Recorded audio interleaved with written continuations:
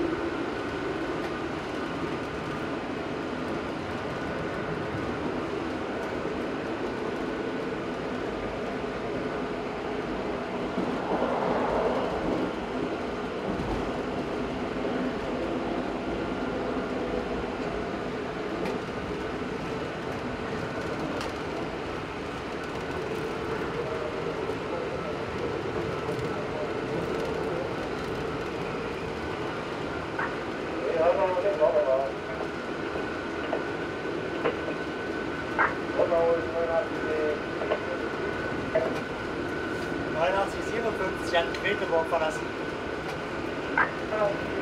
Quedlinburg verlassen. Richtig.